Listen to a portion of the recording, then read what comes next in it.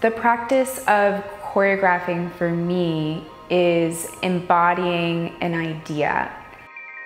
To really do that, I look within and find where a movement originates.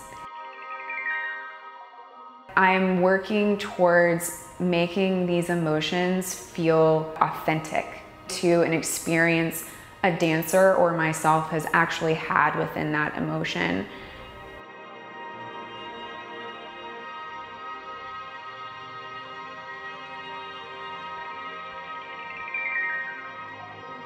Particularly in Project One collaboration with David, it is intimately related to emotions. David and I really work in different ways. Um, one of the things that I find about David really interesting is he's very systematic. He really thinks through things and wants every part to be integrated, which of course is something that I am interested in. However, David takes it to another level with his science background.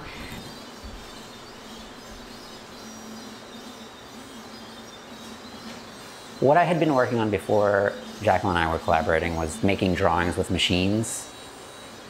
I'd send them very simple rules, and they would repeat those rules again and again and again to build up an image. My interest in using machines is the way that they are reductive to drawing, so they can reduce drawing to these very simple parts. The more you reduce, you can start seeing these tiny variations in the line, in the composition, in what's happening, and how it's coming into being, and amplify those to become visible. Um, things that you normally wouldn't see about drawing that are hidden or they're, they're clouded by larger scale things like content, what you're drawing exactly. And I wanted to work with someone to translate those into line drawings, essentially, to capture that subtlety of the human body. And I'll pull it out, and then I just keep it like out of not like, so there's no, uh,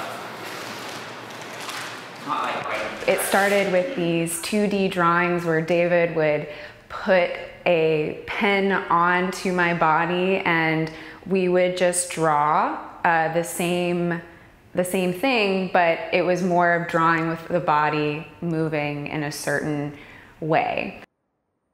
While it did have some interesting aspects, we moved out of that process into using photographic paper and lasers, which allowed me as a choreographer and as a mover to have more freedom.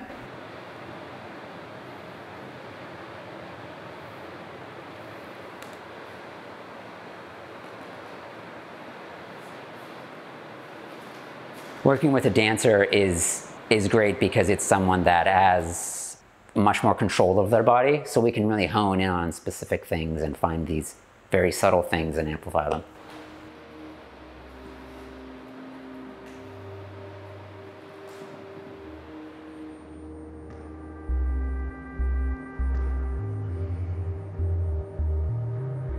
These gestures that we're doing with the laser, I am not the only one doing them. David is also doing them.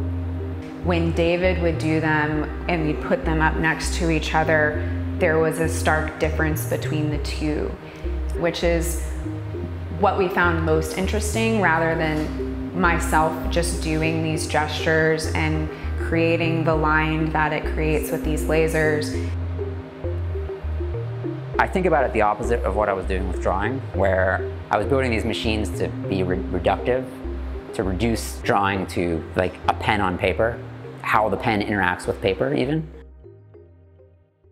We start with some of these, sim these simple ideas of balance and form, simple instructions, and we've extended that out into larger choreographed pieces. That also involve sound and video and uh, multiple dancers incorporating a lot of the ideas that we've found in the studio and build a whole complicated system out of it through like the motions and just how we're working together.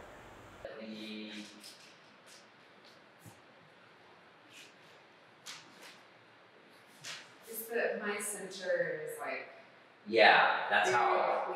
That's David and I had a conversation earlier today about to embody something, you also have to be grounded and um, find that center. And David made it very apparent that he didn't know what it meant to find a center.